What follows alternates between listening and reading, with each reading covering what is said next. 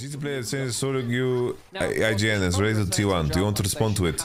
These days I'm communicating frequently with G2 Mikyx. I hope to see him this time.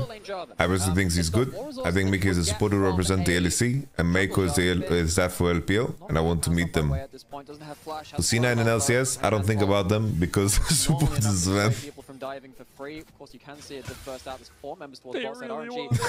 RNG realized that they have to have just overwhelming numbers of advantages. Ah! Otherwise, they're Try to contest over. Bro, if, Zven- if C9 beat them and Zven does this thing on him, And until then, RNG were just fiending for a little bit of something.